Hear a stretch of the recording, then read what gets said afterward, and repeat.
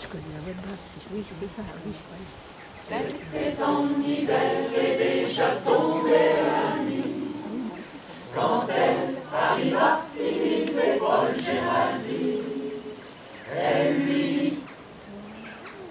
en soulevant sa voilette, et sur son nez fit voltiger sa houppe.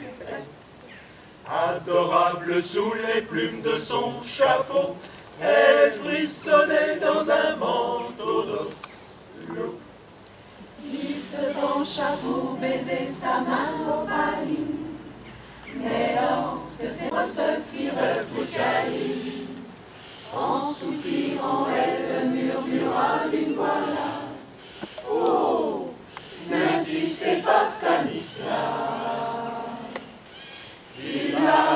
la fit asseoir sur un beau divan chinois.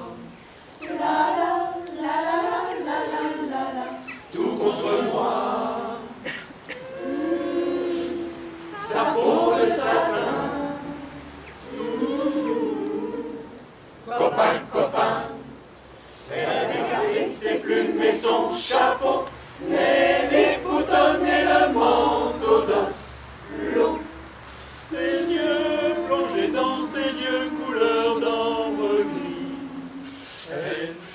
Je suis affreuse aujourd'hui.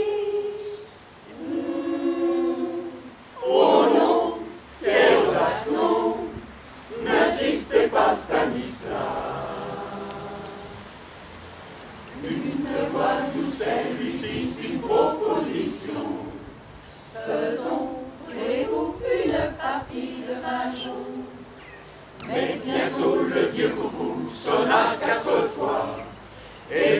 Elle quitta le divan chinois.